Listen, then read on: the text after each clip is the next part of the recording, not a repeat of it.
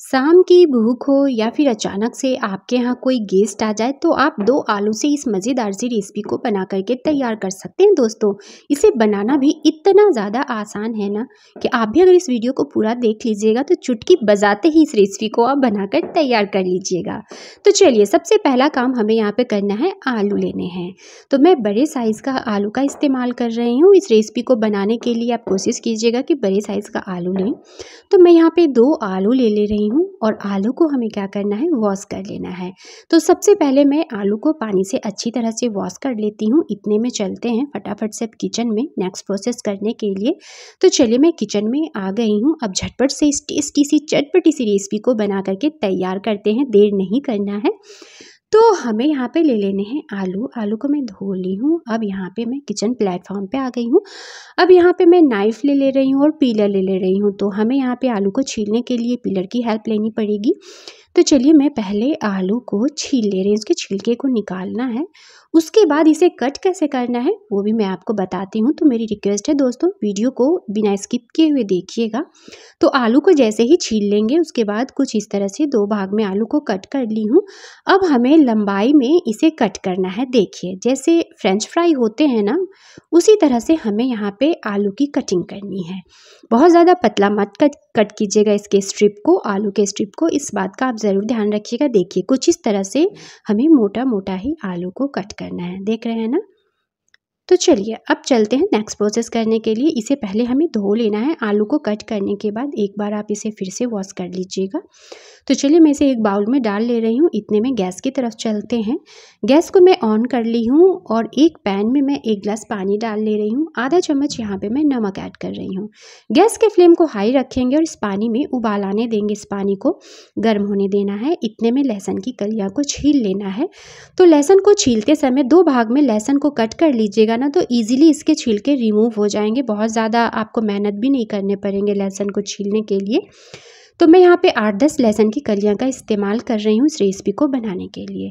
इतने में पानी भी बॉईल हो चुके हैं, इसी में हमें डाल देना है आलू को। तो चलिए मैं यहाँ पे आलू को इसमें डाल दे रही हूँ। हाई फ्लेम पे हमें यहाँ पे आलू को हाफ़ कुक करना है ओवर कुक नहीं करना है। इस बात का आप ज़रूर ध्यान रखिएगा मतलब कि आलू आपका पूरी तरह से पका हुआ नहीं होना चाहिए। तो इसे उबालने में डेढ़ से दो मिनट लग जाएँगे। और हाई फ्लेम पे ये प्रोसेस आपको करना है और ना तो आपको इसे कवर करना है। तो अब एक प्लेट में मैं निकाल ली हूँ चलिए कट करके दिखा रही हूँ, देखिए परफेक्ट तो बस, फटाफट वाली रेसिपी है, अब गैस को जल्दी से ऑफ़ कर दीजिएगा और इसे गर्म पानी से बाहर निकाल दीजिएगा अब ठंडे पानी में स्नान करवाइएगा। तो चलिए, मैं इसे नलके के नीचे ले आई हूँ, उसके बाद ठंडे ठंडे पानी से इसे वॉश कर ली हूँ। अब इस तरह से छन्नी के ऊपर ही मैं मैं डालकर छोड़ दे रही हूँ, फैला दे रही हूँ ताकि ये ठंडा हो जाए और इसका एक्स्ट्रा पानी जो हो ना, निकल जाएगा। चलिए, अब कर लेते हैं यहाँ पे लहसन की चॉपिंग बिल्कुल फाइन हमें यहाँ पे लहसन को चॉप करना है, आप चाहे तो ग्रेटर की हेल्प भी ले सकते हैं। और उसके बाद यहाँ पे एक इंच अदरक के टुकड़े को भी हमें फाइन चॉप करना है। तो चलिए मैं अदरक के टुकड़े को कट कर ली हूँ। उसके बाद मैं यहाँ पे एक प्याज का इस्तेमाल कर रही हूँ। इसे कुछ इस तरह से लंबाई में कट करेंगे इस प्याज को, देखिए। उसके बाद यहाँ पे एक कैप्सिकम ले रही हूँ। कैप्सिकम को भी अच्छे से वॉश करने के बाद इसे भी लंबाई में कट कीजिएगा, इसके बीज को निकालने के बाद। तो चलिए मैं यहाँ पे शिमला मिर्च को भी कट कर ली हूँ। अब इसके बाद हमें यहाँ पे लेने हैं हरी मिर्च। तो दो हरी मिर्च का मैं इस्तेमाल कर रही हूँ। अब हनी चिली पोटैटो बना रहे हैं तो हरी मिर्च तो जाएगा ही दोस्तों। तीखा अगर आपको इससे ज़्यादा बनाना हो तो आप और हरी मिर्च का इस्तेमाल कर लीजिएगा। अब हमें एक बाउल में डाल लेना है। यहाँ पे आलू को जैसे ही आलू ठंडे हो जाए तो एक बाउल में इसे निकालना है। उसके बाद हमें इसमें डाल लेना है। दो चम्मच चावल का आटा।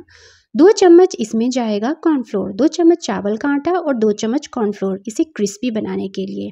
तो चलिए अब इसके बाद हमें यहाँ पे डाल लेने हैं चिली सॉस तो मेरे पास चिली सॉस नहीं थे तो मैं यहाँ पे दो चम्मच टोमेटो केचप ले ली हूँ। इसमें हाफ़ टी स्पून मैं रेड चिली पाउडर ऐड करके इसे मिक्स कर ले रही हूँ। तो लीजिए, हमारा ये चिली सॉस तो बन करके तैयार हो चुका है। अब इसमें से दो चम्मच यहाँ पे डाल लेंगे आलू में। तो चलिए दो चम्मच मैं यहाँ पे डाल ली हूँ। बचे हुए का इस्तेमाल हमें आगे करना है।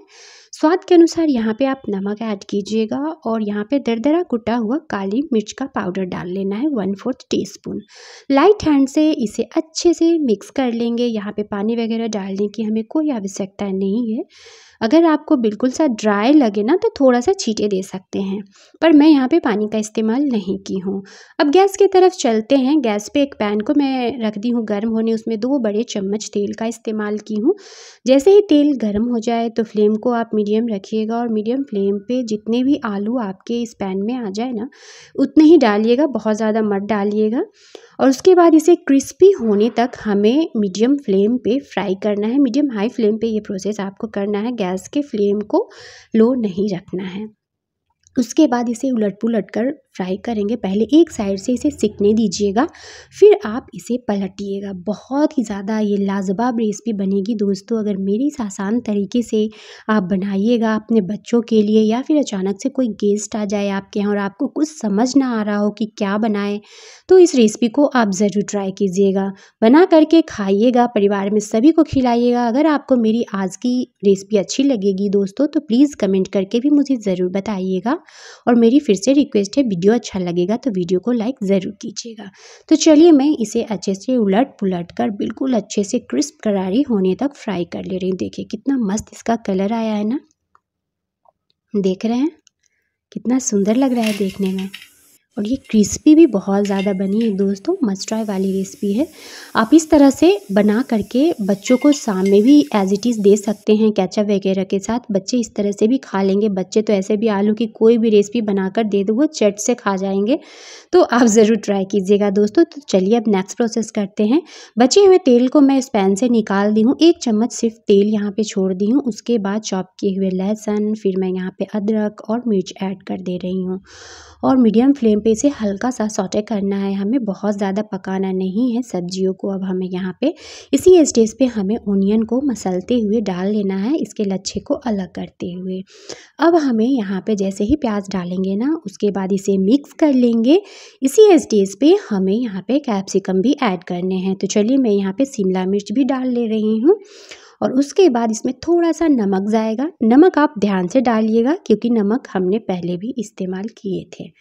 और उसके बाद सॉस वगैरह डालेंगे ना तो उसमें भी नमक होते हैं तो नमक कम डालिएगा। उसके बाद मैं काली मिर्च का पाउडर थोड़ा सा रेड चिली पाउडर ऐड कर दी हूँ। अब जो हमने रेड चिली सॉस बनाए थे वो भी यहाँ पे ऐड कर दे रही हूँ। तो चलिए मैं यहाँ पे रेड चिली चिली सॉस डाल दी हूँ दो चम्मच। उसके बाद इसे करेंगे मिक्स पहले मैं यहाँ पे डाल ले रही हूँ सोया सॉस अब चलिए मैं इसे मिक्स कर ली हूँ। मीडियम फ्लेम पे हमें इसे बस सॉटे करना है। उसके बाद इसी स्टेज पे हमें यहाँ पे डाल लेने हैं ये पोटैटो तो जो आलू को हमने अभी फ्राई करके लिए थे ना, उसे इसमें डालेंगे और इसे कर लेंगे मिक्स फ्लेम को मैं यहाँ पे मीडियम रखी हूँ। तो मैं आज ड्राई चिली पोटैटो बना रही हूँ दोस्तों। अगर आपको ग्रेवी वाली पसंद हो तो थोड़े से आप यहाँ पे पानी डाल सकते हैं। मैं एक चम्मच यहाँ पे डाल ली हूँ सेसमी सीड यानी कि तिल, और इसे कर लिया है मैंने अब मिक्स तो चलिए आप गैस को फटाफट से ऑफ़ कर लेंगे। गैस को ऑफ़ करने के बाद एक चम्मच अगर आपके घर में हनी हो ना तो ज़रूर डालिएगा। उसके बाद यहाँ पे कटे हुए धनिया के पत्ते मैंने ऐड कर दिए हैं। अब मैं इसे मिक्स कर ले रही हूँ। तो चलिए अब इसे कर लेते हैं फटाफट से सर्वाओ देख रहे हैं? क्या मस्त देखने में लग रहा है ना? खाने में भी दोस्तों उतना ही ज़्यादा टेस्टी और लाजवाब बनकर तैयार हुआ है। तो चलिए मैं आपको खा करके भी दिखाऊँगी। उसके बाद ही मैं आपको बताऊँगी कि आज की जो रेसिपी है हमारी कैसी बनी। अगर अच्छी नहीं बनी होगी तो मैं ज़रूर बोलूँगी कि अच्छी नहीं बनी है। अगर अच्छी बनी होगी तो मैं ज़रूर बताऊँगी दोस्तों कि बहुत अच्छी बनी है। तो चलिए देख करके ही आपको लग रहा होगा कि आज की रेसिपी तो शायद सही से अच्छी बनी है दोस्तों। खाने में भी कमाल की है। चलिए मैं खाकर बता रही हूँ। देखिए। गज़ब की स्वादिष्ट बनी है। दोस्तों, आप भी इस रेसिपी को ट्राई कर सकते हैं और इस वीडियो को ज़्यादा से ज़्यादा फ्रेंड ग्रुप्स में और फैमिली वालों के साथ शेयर करना बिल्कुल मत भूलिएगा। चलिए मिलते हैं नेक्स्ट वीडियो में। बाय